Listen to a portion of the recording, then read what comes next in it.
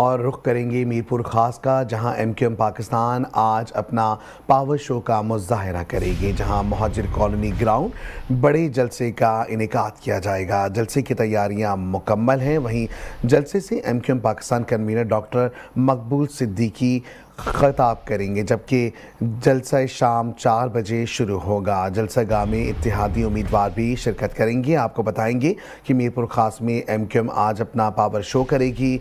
महाजर colony ground में बड़े जलसे का इनका किया जाएगा। जलसे की तैयारियाँ मुकम्मल कर ली गई हैं। वहीं जलसे से M Q M Pakistan convener doctor Khalid Maqbool Siddiqui खिताब करेंगे। इसी हवाले से मजीद तफसीत जानते हैं। मेट्रो वन न्यूज़ के नुमाइंदे से। जी, क्या तफसीत हैं? आगाह कीजिएगा। जी मीरपुर खास में सियासी पारा हाई होता जा रहा है। एक के बाद एक सियासी जमात की जानब से मीरपुर खास में अपना पावर शो किया जा रहा है। मैं इस वक्त मौजूद हूँ माजिद कॉलोनी ग्राउंड के अंदर। यहाँ पे आज एम की जानब से अपना पावर शो किया जा रहा है। जलसे की तैयारियों के हवाले से मैं बताऊँ तो, तो जलसे की तैयारियाँ आखिरी मराइल में दाखिल हो चुकी हैं। स्टेज को बनाया जा रहा है। यहाँ पे हज़ारों की तादाद में कुर्सियाँ लगा दी गई हैं। इसके अलावा अगर सिक्योरिटी की बात करूँ तो यहाँ पे सिक्योरिटी के भी अच्छे इंतज़ाम देखे जा रहे हैं।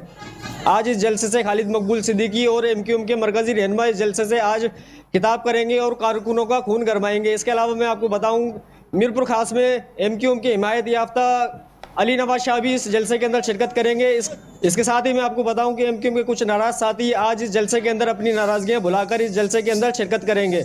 जी। बहुत शुक्रिया, आप हमें तफसीत से आगाह कर रहे थे।